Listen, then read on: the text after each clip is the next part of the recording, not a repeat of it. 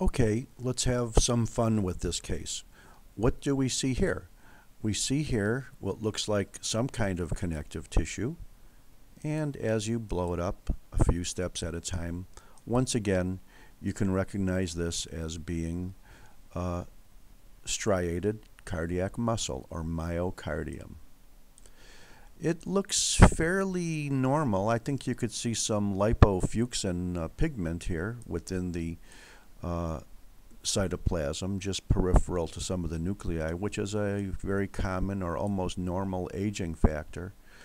But as we uh, go down, uh, zoom down on the myocardium, we're going to see something interesting. This is really not that terribly normal at all. We see a zone here which looks like it has a purple area around it, and then it seems to be lighter in the middle. Now remember, the area we looked at first was here, and it seemed fairly normal, but what do we have going on here? Well, we have a, a zone of myocardium that's relatively clear air, but it's surrounded by very purple uh, type tissue.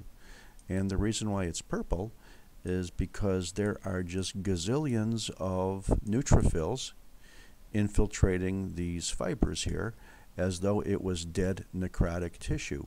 In fact, indeed it is dead necrotic tissue because this is an acute myocardial infarction.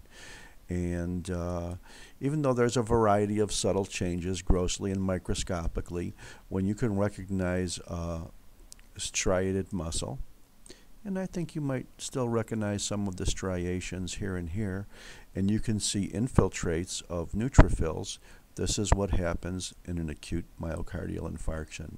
And even when we go into that clearer area in the middle, you know, which doesn't look terribly um, infiltrated, oh, I think we could see an occasional, perhaps, uh, neutrophil. I hope. Yeah, I think so. I think you can see a band out here. I could think you could see